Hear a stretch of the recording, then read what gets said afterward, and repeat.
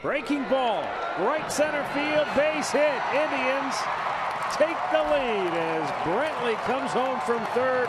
Gomes stops at second as Chisenhall delivers with his second hit of the afternoon.